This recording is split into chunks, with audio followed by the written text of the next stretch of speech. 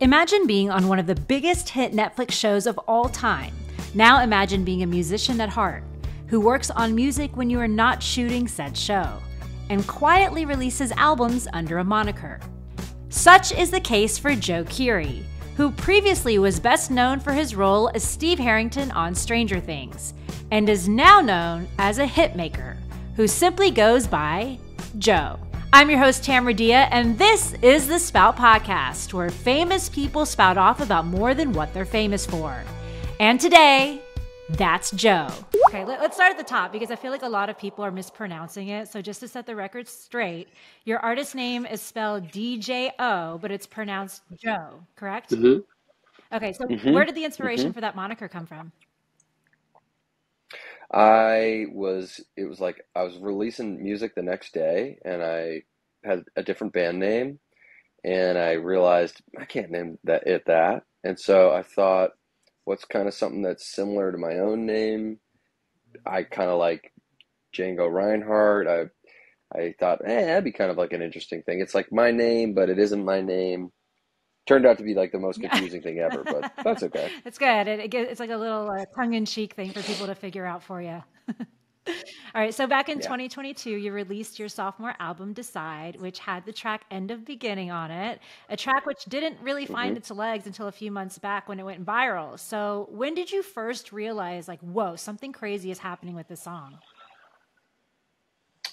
I guess um, my friend and collaborator Adam Thein, who we work on the music together, his wife Carolina is a librarian, and she had seen uh, the song doing something, either it was trending or it was being used for like videos or something. So she was the first person who made me aware, but you never really know to what extent it will kind of continue, and it just sort of kind of like kept going. So yeah, that was kind of the first I had heard of Yeah. And it. well, since then, it's hit number Well, one on multiple Spotify charts. It's close to cracking the top 10 on the Billboard yeah, Hot 100. It's garnered over yeah, it's 35 crazy. billion impressions on TikTok.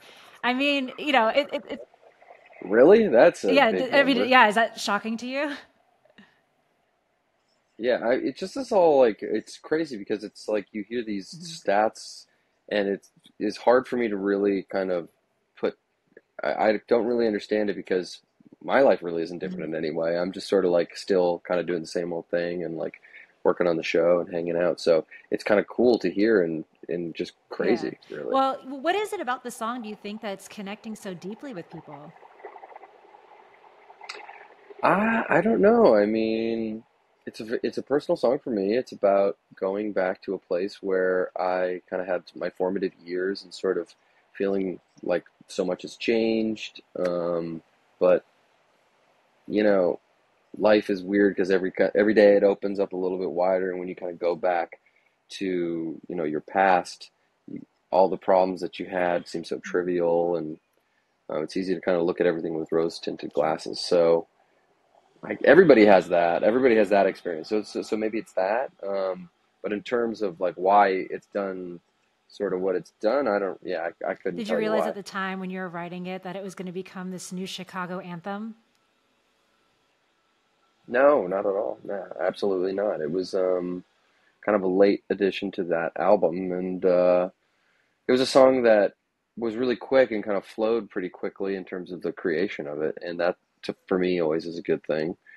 And um, yeah, no, just just was another one of one of the songs. Well, a little while back, you were photographed leaving the same recording studio as Taylor Swift, and the internet ran Right. wild with the thought of a potential collaboration between the two of you. So, what exactly happened there? I was just, you know, she records famously at that studio, um, and I've been working there since like the fall of 2022, and I just happened to be there on the day that she was there. And she's really nice. I mean, I've met her a couple times. She's, before anything happened with this track, she said, "Hey, I really love that track of yours in the beginning." So, you know, it's kind of, yeah, funny, but no, you know, we've never made music together, but you never know. Who knows? Maybe one day Yeah. we'll Well, so Taylor Swift, um, like initially was like, "Oh, end of beginning, that's the one." She just said that she had heard the song, um, and you know, obviously, I'm like, "What? You heard that song? How the hell did you hear that song?" Um, but she's like a she's like a music lover, really, and she's also so hip to you know new music and things that are coming out, and so it I guess it's not shocking to me because she's like a big fan of music and just digs around and finds stuff. So um, somehow it came across her desk and she listened to it and then said that she liked it. Really, Nice, really yeah. nice Well, I mean, obviously, you mentioned you're in a studio working on music. So does that mean new music is coming out, a new album on the way? What can you tell us? Yeah, that's the goal. I mean, since this uh, wrapped, I guess it would have we were we were done recording it in like um, guess it would have been 2022 in like the spring of 2022. So since then, I've basically just been stockpiling songs and then working at the studio and uh, yeah, hopefully a new album soon. I don't know exactly when. I'm kind of stuck down in Atlanta working on the show, so I kind of like will go up and work a bit or work down here and sort of it's a little all over the place. So I'm trying to trying to trying to get it done though sooner rather than later be, before you know before there's too much stuff to choose from, I Well, guess. speaking of working on the show, before the world at large know, knew you as Joe the Hitmaker, we knew you as Steve Harrington on Stranger Things. Um, you just mentioned you you started shooting. We all know it's the final season, which must feel pretty bittersweet after such a long and successful run. How are you feeling now that you're at the end of this? Well, it feels pretty normal at the time or at, at this time that I'm in right now. Uh, because we're just working. Um, it's also there's a lot of work to be done, so it doesn't necessarily feel like the impending end every day or anything like that. I'm sure once we get a little further along, the reality will kind of like uh, sort of sink in. But for right now, business as usual. Spirits are high. We're just you know plunking away and trying to trying to serve these scripts that these guys have written and do our best job because once again they've like come come through in a cool way and written some unbelievable stuff so just trying to do the material Nice. What can fans expect in the final season? just insanity just it's it, it will scratch the itch i think Well, I mean, are you ready to say goodbye to Steve Harrington? I know you've lived with him for so many years now. yeah yeah i have it's crazy um that i've had this haircut for 10 years um but I'll def I'll I'll miss it for sure. I'll miss the, the people is what I'll really miss, and the experience of being so comfortable making something and really understanding the tone of something like that. But also, it's really exciting, I think, and it's you know every ending is kind of the beginning of this new oppor- of a new opportunity, and I'm I'm really looking forward to kind of uh, although it will be an uncomfortable change, it it'll be a necessary change, I think, for everybody because everything's got to end, and um, it'll be really exciting to see sort of what everybody else gets up to. But I'm I'm really excited to see kind of what I get up well, to as we are well. too. You know, I actually interviewed. Yeah, that's Ah, true. that's nice. Um, you know, I actually interviewed the kids of Stranger Things a while back. Well, they're not even kids anymore at this point, Oh but yeah, um, you know, I'm more no, they're like adult, full full adults. You know, a majority of them are all musicians. You know, Millie, Finn, Gaten, Caleb. So, yeah, yeah, yeah. uh, have there been any talks about a musical collaboration between you guys? Uh, no, I mean we'll we'll talk about music and stuff. We're not necessarily um, gonna like write an album or anything like that. But you know, Finn, Finn obviously is always working on stuff, and where he's super interested in gear, and so we'll talk about that. Maya's got her own stuff. Charlie's got like a, a little studio set up, so he's always working. Yeah, it's just sort of like I feel like generally people who are creative in one way are most likely creative in some other way too. So although it's kind of uh kind of a surprise, it's not really too much of a Yeah. surprise also. Well, you know, it's always like fascinating when someone becomes very successful, not only on screen, but, you know, as a musician. So, is there, do you have like a favorite between the two mediums as an artist? Uh, no, not really. Um, it changes, I would say, probably goes back and forth. It's like, um, and they feed off of each other, I guess. It's like nice to take a break sometimes from uh, acting and be like, okay, I'm gonna like put that aside and just like work on writing some songs. But then sometimes if you've been banging your head against like a piano for two days trying to figure something out, you're like, I don't want to be in charge of anything. I just want to be like an actor. I just want to like do the performance part, and then I'll let you guys handle the um, how this thing is all going to go together. Um, so they, they they're nice in that way. They, they can be So, almost like the best of both worlds. Yeah, I think so. And it's nice to be able to like kind of, I, I'm spoiled. I get to be able to like kind of turn between these two things. So it's, um, yeah, it's not necessarily a situation I thought I'd find myself in, but I'm, I'm consider myself really lucky You know, here. under one of your TikTok videos, which has over 30 million views, the top rated comment with which has, let me get this right, 165,000 likes. Why did you do that? This is just insane. It's like, who are all these Your people? fans. What the heck? How did this happen? It's so funny, like when those numbers like shock you, because I mean, for us it seems normal. We're like, oh, you're talented and you're doing your thing. Like, why not? It makes sense. Yeah, I, yeah, you know, I'm just, I'm just, yeah, getting up and making my breakfast like everybody Yeah, else, though. I guess it's sometimes it's like, I guess I'm not on social media generally, so when you, uh, when you, uh, it's, that seems like a lot of people. it is. Wait, so it, I mean, that's Yeah, fascinating too, you know, like because, you know, the song obviously blew up on social media, but you just said you're not really on it like right. that. So what what is your take on that? You know, like having this platform that blew up a song for you, but it's not really like something that you're into. I don't, yeah, I don't know. It is very weird. I guess it's like, uh, I have, it's the way that the world is going. So to kind of like go against hmm social media is silly. But I guess for for my hmm own life, I if I have social media, I so easily get sucked into it and end up wasting like a lot of my own time. So I kind of have to like put these this like distance between myself and social media, or else I will have no self-control and then I'll just be like I'll wake up and I'll be on it or I'll go to bed and be on it. So that's that's really kind of like the reason for for that. I mean, I've, I've like written songs even about that, and now it's like really funny that the thing that like has Yeah. introduced so many people to my music is social media. So, you know, got to be grateful. At the end of the day, it's other people on the other end of this thing. So, you know, Kind of poetic yeah, in a in a really funny way. it is. It So really b- is. back to that uh, question, I'm just going to ask um, that video that has over 30 million views. It has a top-rated comment with Yeah, 165,000 likes, and it's asking if you have seen the Steve Harrington edits that they all make on TikTok. So it's like, yeah, so I they make these haven't. like fan edits for you. That is like, you know, very dramatic, you know, loving fan edits for you. So I had to ask on behalf of TikTok. Like a best Yeah, of, yeah, like a highlight, Like a a highlight highlight reel. Yeah, reel. yeah, totally. But but base I, I, but it I has like end of beginning I as like the backtrack for it. I, I don't think I could stomach it. I, I thank you, but I don't think I could stomach it. it's funny because someone asked Pedro Pascal that, and he admitted that he would go on and look at those videos of, of the fan edits to make him feel better about himself on days when he wasn't feeling so good. That's so fantastic. yeah. Love So it. I don't know. Maybe one day it. you're having kind of a low day. You could always just look on on there and see those videos. Might make you feel better. At least I have Yeah, this. At least I have this. Well, you know, obviously you're known for Stranger Things and, you know, being a musician, but you've since gone on to star in Fargo opposite Jon Hamm. Um, what was that experience like? Awesome. It was amazing. Yeah. Um,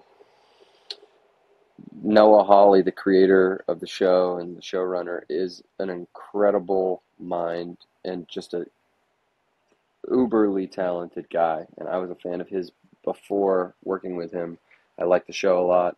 Um, so yeah, that was something that was a no-brainer for me. And when you're acting in projects, the thing I feel like that you look for is somebody who really is decisive and knows what they want, has a deep understanding of story and character, and you know is fun to work with as an actor. And he just like checks all those boxes. Um, and then the cast was amazing: Juno and John and Jennifer and David and Lamorne and Sam.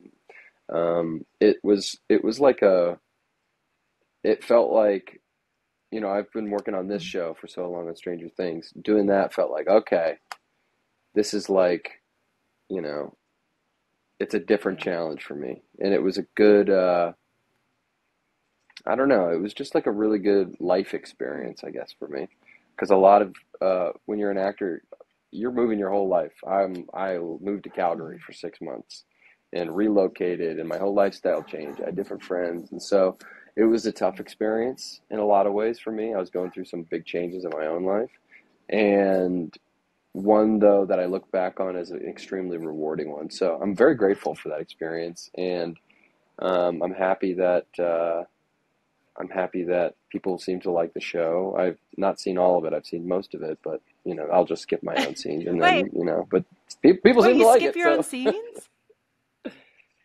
for this one, whatever reason, don't really Oh, like that's to so watch it. fascinating. So, you know, I can like w- Stranger Things. That's fun to watch. I'll like watch with my family and my parents, and it's like it's a big show. But for this, for you know, it goes in waves. Sometimes I feel like I can kind of stomach it, and then some other times I'm like, do not. The last thing I want to do is watch the show. Wow. Yeah, for yeah. for me. Are you just like my own- uncomfortable watching yourself like in certain roles? Yeah, I think so. It's just like can be Yeah. kind of uncomfortable. Well, you have another big role coming up Yeah. uh, opposite Liam Neeson uh, with Cold Storage. What Right. what was that like working with Liam that was fun. Neeson? I mean, whoa. insane, really insane. Um, yeah, Georgina too, and Lesley. I mean, everybody on that job was really good. And it was a real wild um, job. It was, um, you know, and it was also very quick. It was right after Fargo. It was like I flew there to there. It was like, holy, oh my God, okay, now we're doing this now. And then um, also working with Johnny and David Koepp too, who's just somebody who is, oh my God, he's amazing. He's written so many great things. He's a novelist, he's a screenwriter, he's like a director, he's great. So yeah, I'm excited. I've not seen that one. We'll see. Well, maybe I'll watch. You'll actually watch watch those it. scenes? Maybe not. I don't know. I don't know. We'll see. Um, so you know what's next for you? You know, we we know like potentially new music is coming out. Do you have any other projects in the work? Well, you know, always, uh, always handing out the old Yeah. resume on the street corner saying, "Hey, you guys need a guy over here? I can do that. Sure, I can play a teenager." Um, so in terms of acting stuff right now, I'm in Stranger Mhm. Things world, and then I'm just trying to finish this album, and then hopefully put some good time aside and uh, do a Mhm. proper tour at some point. It's always something that I've wanted to do, and it would be a real cool experience to like take the amount of time. I have a huge respect for touring musicians. Doing a live show like that is insane. It's truly crazy that people do it. I don't know how Taylor Yeah. Swift is not dead. She has been touring for like over a year, doing a three-hour show. It's unbelievable. Um, it is unbelievable. Uh, so, yeah, I would love to, you know, muster an ounce of that and try to, you know, create a live show that's really cool and just like give something back to the fans that they would really like to see. And I'm a big fan of like theater and production, so to see like a live thing would be really cool. And yeah, that's kind of what I want to focus on right now. All right. Well, thank you so much. It was so nice to talk with you, Joe, and congratulations on everything. Dying Thank to, you. to see the new season of Stranger Things and hopefully hear some good new music from you. I'm I I feel the same way. You're, We'll, we'll see. you're excited I to watch Stranger Things and hear good music from yourself. yeah. I, well, I hope I hope yeah, I hope I'm I sure get both. you will. Thank you so much, Joe. Appreciate your time. It's now uh, Eric Zachary and Tamara Dhia. No longer. I, I know I, I have the same level of handsomeness as Joe Keery, uh, but here we are. Or Joe, as I, you know, I don't know which version of we have to refer to him as. Yeah, but excellent interview, Tamara. Oh, thank you. Yeah, no, it was really Yeah. fun to talk to him and, um, you know, obviously talk about his new or that song blowing up and Yeah, Stranger Things. And yeah, we just, it was a really fun conversation. And, uh, he was such a cool guy. Yeah, I, I got a chance to briefly chat with him before you guys started too, and. Uh, you know, he went to school uh, in Chicago, which is where I'm from, and it's funny because we have a lot of like open air bars that are starting to like open up for the summer. oh, nice. And you'll hear probably once a night that song being covered on the street, which is cool. Oh, yeah. No, it's, I mean, it, it's really incredible the fact that he kind of made a Chicago anthem without meaning to. Yeah, and then it like hit two years later. exactly. Yeah. Yeah. Uh, all right, cool. Let's jump into it. Got a lot of extra news to go over. First and foremost, Billie Eilish, her third studio album, official studio album, uh, "Hit Me Hard and Soft," is out now. We've talked about this before on the podcast. We love the fact that she didn't let us hear any of this. I mean, there was little snippets, little Yeah. you know sneak peeks, but for the most part, she didn't do the traditional single or even singles yeah. uh, leading up to it. We got all the album, 10 songs in total, all caps today. Initial reactions, Tamara, thoughts? Uh, well, I think there's an immediate hit that has come off the album, which is Lunch, which she kind of Mm-hmm. teased dur- uh, throughout the week, um, just during her shows. Sure. Uh, you know, it's salacious and sexy and fun, and uh, it it you know obviously is very tongue in cheek or never mind. I was going to make a joke. Uh, we'll, we'll let your mind uh, wander there. Uh, yeah, exactly. I mean, it, it's it's a great track, and, and again, like I love that she's leaning into different parts of her personality that she's previously kind of hidden. Um, yeah, uh, have you heard the whole album yet? What are your thoughts? I have. I've skimmed, uh, but I've listened to every track uh, to the best of my ability. It's been a, a crazy Friday. Uh, I personally, obviously, Lunch is the hit. I mean, that Yeah. goes without saying. Yeah. I like Birds of a Feather a lot. And I really, really like uh, the the French one that I'm going to butcher, but L'amour de ma vie. I'm sure I nailed that. Yeah. Uh, but I love the ballad of that. I, I, to me, it's a very modernized version of Ocean Eyes with a different production approach. Uh, we know Phineas, her brother, is producing all of this stuff with her. Yeah. And I like that we can hear the maturity not only in Billie and her lyrics and singing, uh, but also the rollout in total and the production. It's just, uh, this is an album that is going to be incredible live. Yes, I agree. I, also, like I noticed in this album, we're hearing a lot more electronic beats, which we don't really get from Billie. So I think Right. that's fascinating that they kind of opened up their genre a little bit in that regard. Uh, and then the album is already number one on Apple Music, and I'm sure it'll. Naturally. Yeah, I mean, it's a natural for Billie to, but I think it's also a testament to this pattern of these big artists just doing these drops without doing the lead up singles. So I think it's kind of fun. It, it allows the fans to choose the singles because they're going to see which of the songs are resonating so deeply. So I think it's like a, kind of a backwards way to do it, but I'm into it. Yeah, and it's the first time we've gotten it in this capacity. I mean, we've had surprise albums, sure, dropped Yeah. on us. That happens all the time. Uh, but you know, to to know an album is coming, and there's still a level of rollout and tease, but we don't really hear anything other than what she really wants us to. Yeah. uh, it's certainly not in a song in its entirety. Uh, yeah, I love it. I love fans and just you know, basically the world choosing and, and representing what music uh, they want to hear the most, which is uh, inherently what music and songwriting should be, right? Right. Uh, we talk uh, to artists all the time, and, and more often than not, they all agree. Um, songwriting is writing a song, whether from its personal standpoint or a third person, but the minute it's out, it belongs to the audience. Totally. And I really love Billie, especially someone as big as her, Mm-hmm. um, just really taking that wholeheartedly uh, and putting it out there. You Yeah. know, saying, "Hey, you guys choose. You pick. You tell me." Yeah, and I think obviously, you know, obviously TikTok is being banned, but I think TikTok is a testament to that. You know, where we're seeing songs like Joe's, for example, finding its legs two years after its release because the fans are finding these songs and they're blowing them up because they genuinely love the music, as opposed to a record label telling them like this is going to be the hit. It's the fans mm-hmm. letting you know like, no, this is your hit, which is really cool to see. I, I like this turn. Yeah, it's it's cool, and I'm glad you just said that too about um, Joe and, and just TikTok and fans picking music in general. There's another unique approach. We actually um, just talked to a group called the Astronomers on our, on my show XYZ, uh, and they did a really really cool rollout, kind of the opposite, where they've been putting out a song out every two weeks, which is more in line with the singles, but they were all from a coherent album, and they all work together and then today the whole album completed the story completed but they started the rollout in january Oh. but they still did it in terms of a, one cohesive story as opposed to just a bunch of single songs. So there's a bunch of ways to do it. I just like that no one's really fitting into this just machine that's been Yeah. dominating music for 30, 40, 50 years. Now it's like, hey, li- there's a bunch of different ways to do it. And I, I really appreciate people going about it in unique ways. Yeah, same. Uh, speaking of uniqueness, Kendrick Lamar occupying both the number one and number three spot on the Billboard Hot 100 charts. Of course, nothing like us and Euphoria. Not like Uh, us. not like us. Thank you. I'm reading this very fast. Uh, yeah, you're listen. You're the Kendrick representative here, so I, I'm going to turn over to you before I embarrass myself further and get myself caught in this beef.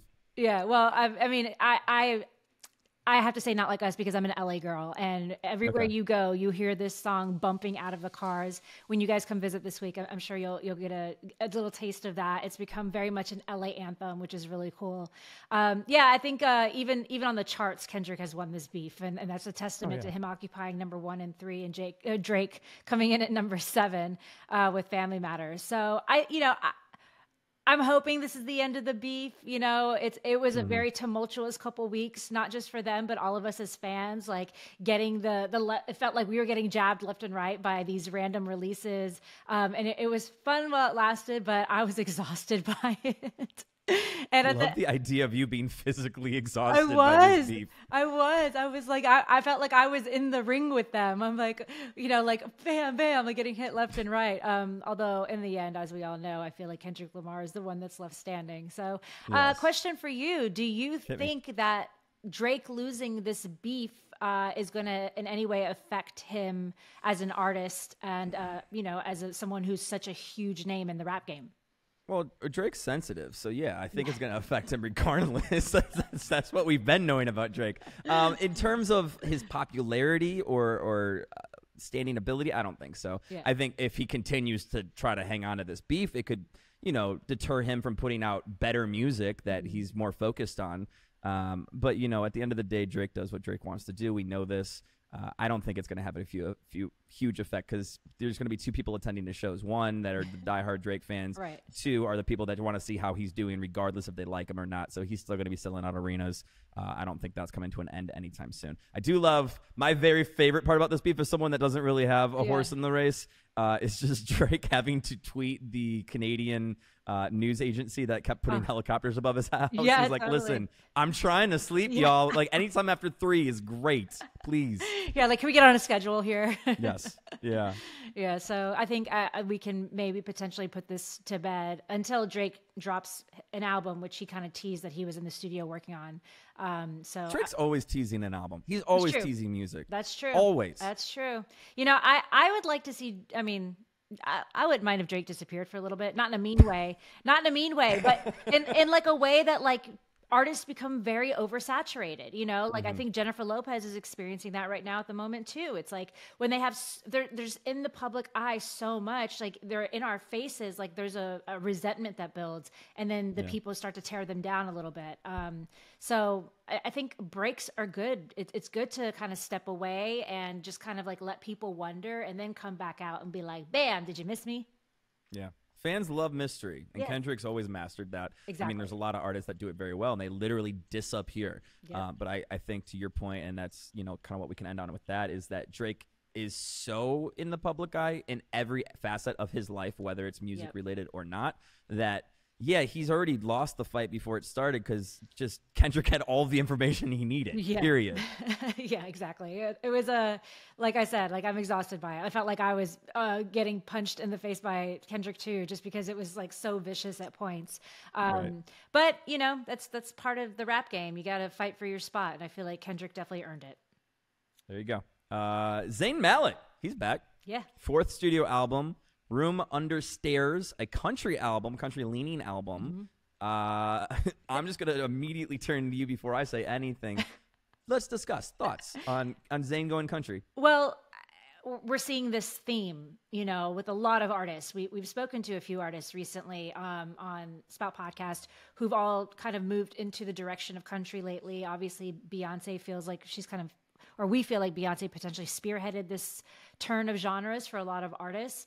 Um, you know, I'll say this about Zayn. Um, I, I was always a Zayn fan. Uh, I, you know, back in the days of One Direction and when he was leaving, I genuinely thought that he would be the breakout solo artist.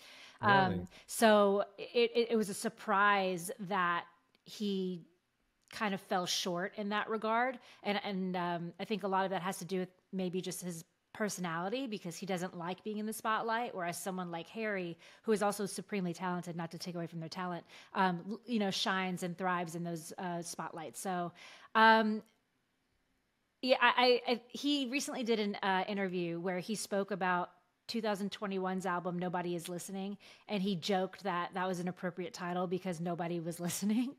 um, so, uh, you know, I think Zayn is trying to find his footing, and I think, um, you know, potentially country could be a fun sector for him to move towards, but it, it's hard to think of a British artist going country. You know, it's a Yeah, I, I mean, it- there are a lot.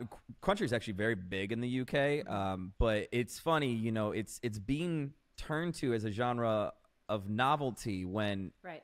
In its own right, I know you've recently dove back into the country world in, in Nashville and, Yeah, and interviewed a lot of artists down there.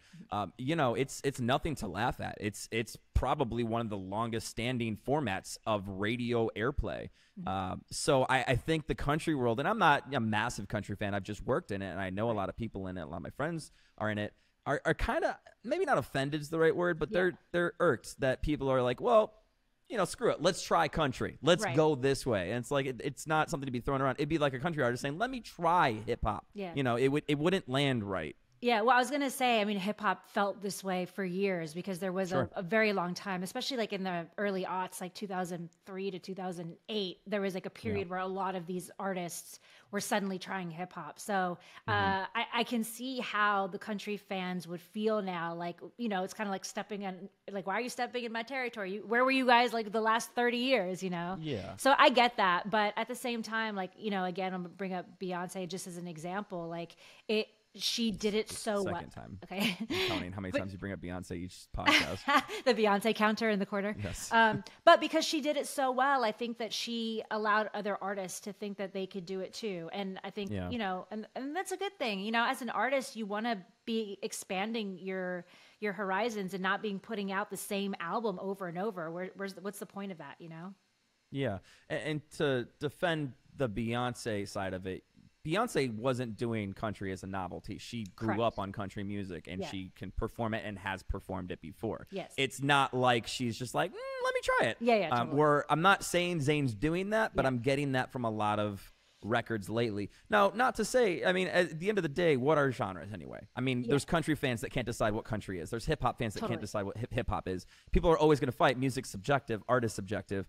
Um, I, I just think that we're we're hitting this wall of let's define it because of the major market value when you have to turn towards which radio station is it going to play on uh, what you know chart is it going to land at what Right. category is it going to in the grammys yesterday i actually just spoke to uh, her is charlotte cardin she's a massive massive star in canada but she's finally breaking through to the states on a very real level but she's won album of the year at the junos Oh, wow. multiple times and we are just learning about her you know Yeah. generally in the us but what i love is we her and i talked about how much music is valued as a whole and art as a whole in canada canada has a rule it's actually a, a, a federal rule um, that a certain amount of their playlist has to be made up by canadian born artists on radio Oh. stations there so they're protecting you know where people are from the origin of their country which is amazing um, i think it would be interesting if you know it might be a little uh, overzealous to say country stations, you know, pick, okay, let's say we let 10% of our, our audience be people who didn't traditionally start in the genre.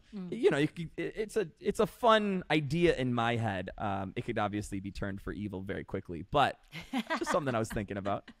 Uh, yeah, you know what would be interesting to me is like, you know, speaking of Canada, and we're talking about artists. Uh, I, I'm itching for a new Bieber album, like many people, I'm sure. But like, Mm-hmm. what what would you do if like Bieber came out and was like, my next album's gonna be a country album? At that point, I'm packing it in because Yeah. then that's just solidifying everything we just talked about. And I'm not saying Bieber couldn't do country. Right. I Yeah, mean, yeah. Holy is is a country leading track. Yeah, um, totally. for sure. It just the the opportunism of of it happening right now would just really get me. Yeah, They'd be yeah, like, yeah. all right, man. I, I'm not even a country fan, but I got to step in here and be like, let's break.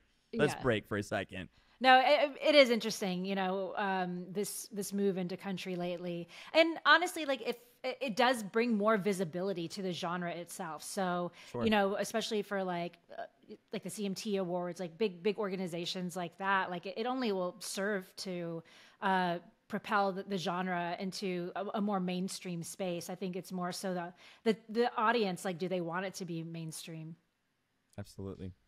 Uh, let's end on this, Tamara. It is New Music Friday at the time of this recording. Mm-hmm. Bunch of new stuff came out today. Is there any song, single song, not from the Billie album, that's jumping out to you? I mean, I was going to say lunch. I literally listened to it three times in a row on my run this morning. Um, shoot. Oh, oh, uh, I do. Well, it's not new music, but he is newly on the Hot 100 chart. Is uh, Tommy Richman Million Dollar Baby? Great song. Yeah. Jordan, uh, my co-host and producer at my other show, is like, yes, yes, Yes. yes, yes, yes, absolutely. Yeah, yeah. Um, I'll- Band Camino put out a three-song EP today. Oh. I'm more the pop punk leaning guy. Their Mm-hmm. song "Nostalgia" is incredible. Uh, the Astronomers, who I was talking about, uh, which they did the multi-month release, They uh, they just put out the the final piece today. A lot of good music. Hardy, speaking country, um, Hardy's an example of a country artist breaking out, and he's going more pop and, and rock now, even though it's kind of where he started. But traditionally, he's been on tour with Morgan Wallen and and that crew. Uh, Mm-hmm. and he just put out a song called Psycho, which if you need a reason to be mad at the world, listen to that. All Like, right. I li- you can just break stuff. I It's like those great. kind of songs. I mean, Yeah. for specific moments, but yeah. Yes. I like when people make songs like that. Hopefully not when like you're soothing a friend, but yeah, you know, if you're In- like, it's a great workout track. It's a great like middle of yoga. the world. Yeah, hot yoga to Hardy. Yeah, Psycho. exactly. There you go. That's I don't know if we can end on something better than that. Tamara, I appreciate you. I love you. We'll talk soon. All right. All right. Bye.